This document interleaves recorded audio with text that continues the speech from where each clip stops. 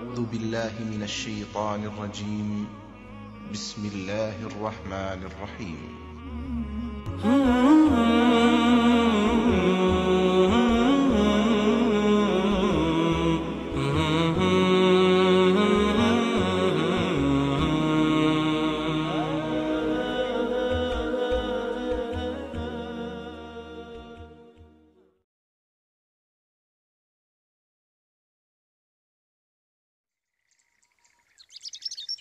ওয়ালাইকুম সালাম রহমতুল্লাহ বাংলাদেশ থেকে দিল্লি বোন রিমি জানতে চেয়েছেন।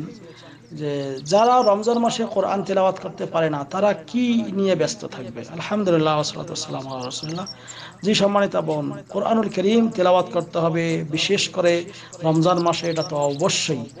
আর আল্লাহ রব্বুল আলমিন বলছেন যে, কে শাহরুল রমাদান কোরআন।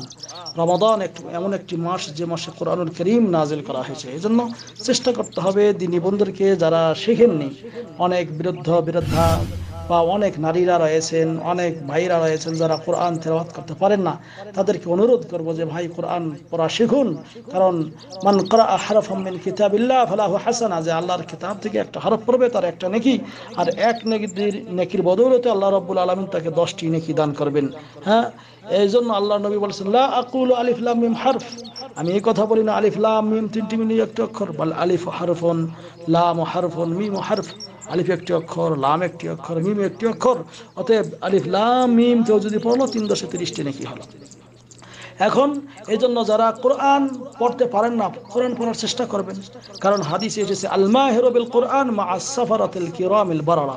যারা কোরআন ভালো করে পড়তে পারে, সম্মানিত ফেরেশতাদের সঙ্গে তাদের অবস্থান ওয়াল্লাজি ইয়াকরাউল কোরআন, আর যে ব্যক্তি কোরআন পড়ে, ওয়া হুয়া আলাইহি শাক, এটা যদি তার কষ্ট হয়, ওয়া ইয়াতাআতাউ ফীহি এবং সেখানে তার পড়তে যে যদি আটকে যায়, লাহু আজরান, তার ডবল সওয়াব এই জন্য আপনার পড়তে যদি চেষ্টা করবেন, তারপর আটকে গেলে আপনার ডবল সওয়াব হবে।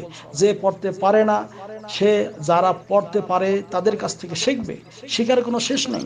হ্যাঁ আপনাকে শিখতে হবে, শেখার চেষ্টা করতে হবে। তারপরেও যদি এইগুলি কেউ কোরআন পড়তে পারেই না, তখন তার জন্য আল্লাহ রব্বুল আলমিন জিকের, আজকার নিয়ে মুশকিল থাকবে। যেমন সুবাহান আল্লাহ আলহামদুলিল্লাহ ওলা ইলাহ আল্লাহ আকবর। হ্যাঁ এই জিকেরগুলি বেশি বেশি করে করবে। সুবহান আল্লাহ আলহামদুলিল্লাহ আল্লাহ আকবর, লা ইলাহ ইল্লাল্লাহ। আর এক হাদিসে এসেছে, আফজাল যিকরে লা ইলাহা ইল্লাল্লাহ, লা ইলাহা ইল্লাল্লাহ বেশি বেশি করে পড়বে। এরপর, সুবহানাল্লাহ ওয়া বিহামদিহি, সুবহানাল্লাহিল আযীম হাদিসে এসেছে, কালিমাতান খাফিফাতান আলাল লিসান দুটি কালেমা মুখে বলা খুব সহজ। হ্যাঁ হাবিবাতান ইলার রহমান আল্লাহর কাছে খুব প্রিয়। হ্যাঁ সাকিলাতান ফিল মিজান মিজানের পাল্লায় খুব ভারী হবে। আর সেটা কি? সেটা হলো, সুবহানাল্লাহ ওয়া হামদিহি সুবহান আল্লাহ আজিম এই কালেমা দুইটি বেশি বেশি পড়বে। আরেকটা আছে কুনুজুল জান্নাত জান্নাতের একটা ব্যাংক হলো, লা হাওলা ওয়ালা কুওয়াতা ইল্লা বিল্লাহ এই দোয়া দরুদে মুশকিল থাকবে। হ্যাঁ এবং ছোট ছোট সূরা, যেমন কুল হুসুরা বারবার ওইটাই পড়বে। সূরা ফাতিহা, এটাই বারবার পড়বে। যে কয়েকটা সূরা তার জানা আছে, এই কটাই পড়বে। আর আপনি বলেছেন যে নামাজের মধ্যে কীভাবে হ্যাঁ মহিলারা নামাজে দাঁড়াতে গেলে পুরুষরা যেভাবে দাঁড়ায়, আপনার শরীর যেরকম বডি যেরকম, ওইভাবে দাঁড়াবেন। দুই পায়ের মাঝে অবশ্যই ফাঁকা রাখতে হবে, পা দুটি এককে লাগিয়ে দেওয়া দাঁড়ানো যাবে না।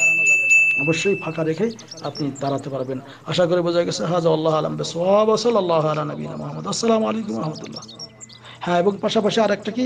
দোয়া, দরুদ এগুলা পড়ার পাশাপাশি ইস্তেকবার পড়বে ইস্তেকবার আস্তাগফিরুল্লাহ আস্তাগফিরুল্লাহ আস্তাগফিরুল্লাহ আস্তাগফিরুল্লাহ আল আযীম আল্লাযী লা ইলাহা ইল্লা হুয়াল হাইয়ুল কাইয়্যুম ওয়া আতুবু ইলাইহি। এই দোয়া অথবা আস্তাগফিরুল্লাহ আস্তাগফিরুল্লাহ বেশি বেশি করে পড়বে। এবং দরুদ পড়বে বেশি করে, আল্লাহুম্মা সাল্লি আলা মুহাম্মদ ওয়া আলা আলি মুহাম্মদ কামা সাল্লাইতা আলা ইব্রাহিম ওয়া আলা আলি ইব্রাহিম ইন্নাকা হামিদুম মাজিদ। আল্লাহুম্মা বারিক আলা মুহাম্মদ ওয়া আলা আলি মুহাম্মদ কামা বারাকতা আলা ইব্রাহিম ওয়া আলা আলি ইব্রাহিম ইন্নাকা হামিদুম মাজিদ। এইগুলি পড়বে। এবং অন্যান্য যে দোয়া আছে হ্যাঁ রব্বের হামহুমা কামা রব্বাইয়ানি সাগরা, বাবা মার জন্য দোয়া হ্যাঁ রব্বানা আতিনা ফিদ হাসানা ওয়া ফিল আখিরাতি হাসানা ওয়া কিনা আযাবান এই দোয়া হ্যাঁ তারপর আল্লাহুম্মা ইন্নাকা আফুবুন তুহিব্বুল আফওয়া ফাআফু আননি, এই সমস্ত যত দোয়া দরুদ আছে এগুলো পড়তে থাকবে যদি কোরআন পড়তে না পারে। আশা করে বোঝা গেছে। আসসালামু আলাইকুম রাহমাতুল্লাহি বারাকাতুহু।